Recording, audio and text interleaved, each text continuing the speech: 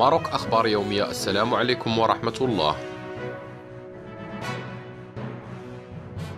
أيام قليلة بعد إعلان تخفيف إجراءات الحجر الصحي ببعض المناطق المغربية خرج عدد من ساكنة إقليم سيدي إفني من أجل السباحة والاستجمام بشاطئ المنطقة بالرغم من منع السلطات على المستوى المركزي السباحة في الشواطئ. ووفق ما كشفه مصدر محلي فإن شاطئ سيدي إفني شهد يوم السبت 13 يونيو الجاري إقبال عدد من المواطنين على السباحة أمام أعين السلطات المحلية التي تجوب الشاطئ بدراجاتها النارية. البحرية بالرغم من أن السباحة ما تزال ممنوعة بحكم قانون الطوارئ الصحية. المصدر الذي فضل عدم الكشف عن هويته أكد أن شاطئ سيدي إفني يشهد إقبال المواطنين من مناطق مختلفة بالإقليم مشيرا أنه من المرتقب أن يتزايد العدد ما يشكل خرقا لضوابط السلامة الصحية خلال فترة تفشي فيروس كورونا.